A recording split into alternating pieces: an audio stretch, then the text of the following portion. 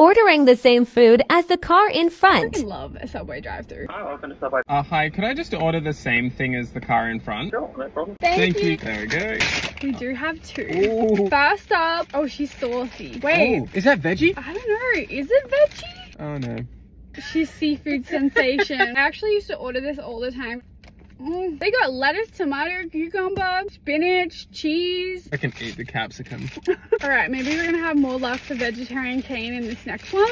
We have also a lot of sauce. I don't see any meat. It's tuna. They're both seafood. I've never had a tuna sub before. Mm, I like the other one more. Like for part 15.